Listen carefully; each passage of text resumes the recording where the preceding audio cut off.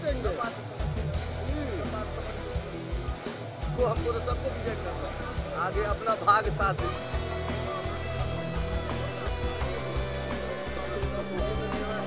हाँ, पंकजम। ओम श्री ह्रीं क्लीं ग्लौं गणगपतये बरोत्सवमे सोम सायुवा सोना सत्व सर्वमंगल मांगल्ये शिवे सर्वार्थ साधिके शरण्ये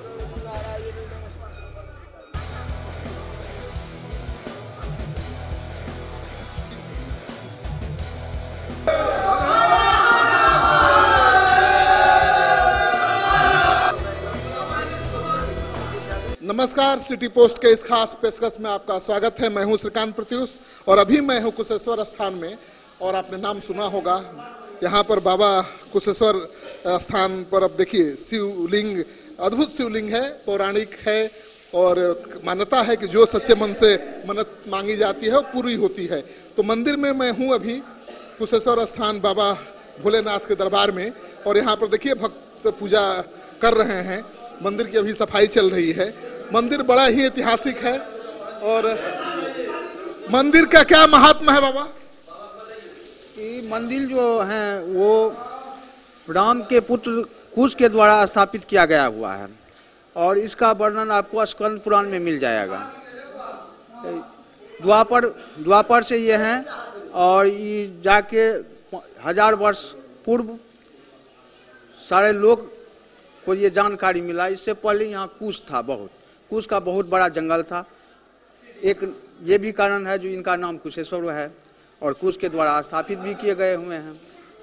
क्या मान्यता है यहाँ आने से? क्या मुन्नत पूरी होती है? यहाँ का मानता है जो ये बाबा कुशेश्वर नाथ जो है ना जो जिस मन से आते हैं उनका मनोकामना पूरा करते हैं। कामना लिंग माने जाते हैं। ये लव कुश का स्थापना किया हुआ महादेव बाबा कुशेश्वर। क्या है यहाँ मनोकामना पूरी होती है? हाँ सर पूरा होता है। बहुत बहुत दूर से आदमी आते हैं, बाबा को मन्नत लेके बाबा मन्नत पूरा करते हैं और जाते हैं यहाँ से पूजा पाठ करके। तो आपने लौकुश का नाम सुना ही होगा। भगवान श्री राम के दो पुत्र थे लौकुश और कहा जाता है कि उन्होंने ही शिवलिंग की स्थापना यहाँ पर की थी, पूजा की थी और ये कुश का जंगल था। इस वजह से भी इसको कुशेश्वर स्थान के नाम से इस जगह को जाना जाता है। तो बाबा भोलेनाथ का जो लिंग है, बड़ा ही दिव्य है, पौराणिक है हज़ारों हज़ार साल पुरानी है। द्वादश ज्योतिर्लिंग है बहुत जो प्रमुख शिव जी का लिंग है और कुशेश्वर बाबा के जैसा लिंग कहीं आपको नहीं मिलेगा। कहीं नहीं मिलेगा। ऐसा आपको कहीं नहीं मिलेगा। लिंग कहीं नहीं मिलेगा ऐसा लिंग आपको कहीं नहीं मिलेगा। इनका खासियत यही है जो माने अंकुरी है। जी समझे ना अंकुरी है ये।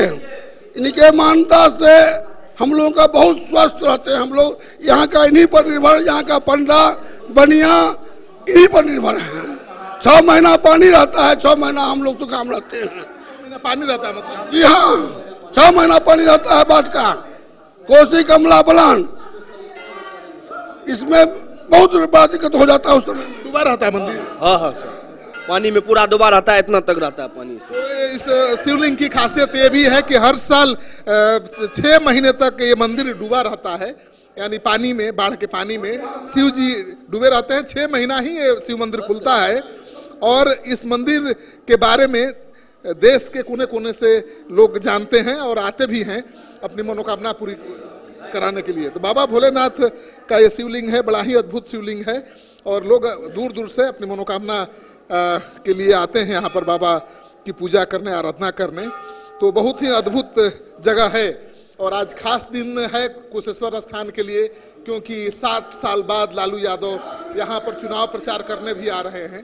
तो मैं जाऊँगा यहाँ से वहीं लालू यादव की सभा में और देखने की कोशिश करूँगा कि सात साल बाद जब चुनाव के मैदान में लालू यादव नज़र आ रहे हैं तो क्या कोई खास फ़र्क पड़ा है या पड़ेगा? तो कुशेश्वर स्थान से सिटी पोस्ट के लिए मैं श्रीकांत प्रत्युष। Música